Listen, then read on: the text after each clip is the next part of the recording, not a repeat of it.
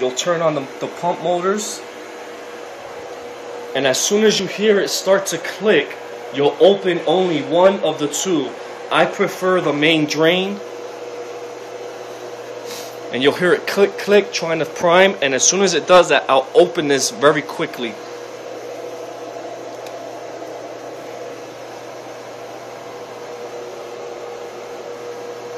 Listen for the sound.